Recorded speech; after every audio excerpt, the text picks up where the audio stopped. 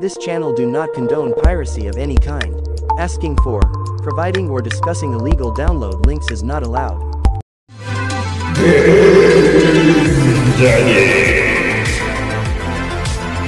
Hello Game Daddies. Game Daddy here, and welcome to our channel where you're never too old for video games, and we're all about to dive into the world of emulation on Android.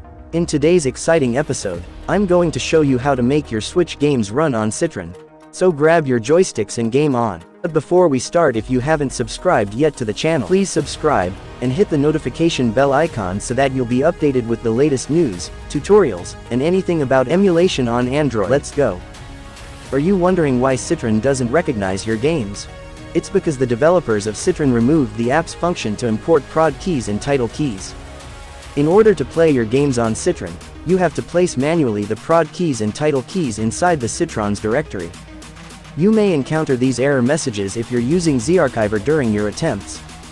So in this video I'm going to show you the right way to manually import title keys and prod keys inside your Citron's directory without root access or any complicated methods.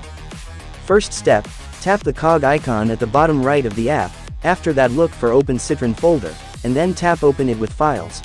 Second step, locate your title keys and prod keys.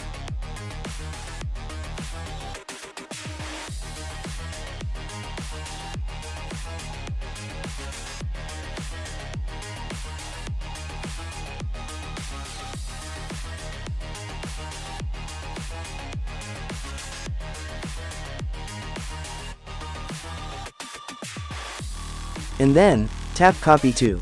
From here go back to Citron folder.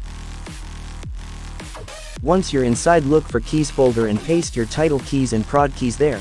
And it should look like this.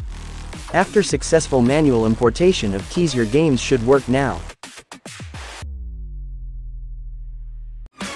Inspire me to make more videos like this by subscribing to the channel.